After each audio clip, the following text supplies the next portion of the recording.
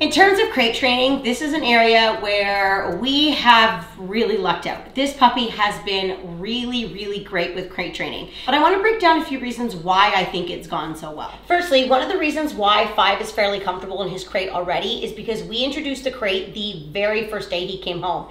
Secondly, is when Five goes into his crate, often we put him in his crate after he's had some type of physical or mental stimulation. The other thing that we've spent a lot of time with is teaching him going in his crate is a really fun thing. So we played little crate games with him. I've taken some th treats, thrown them in the back of the crate, and by a week's uh, weeks gone by, he started to put together if you want these treats, you got to go in your crate.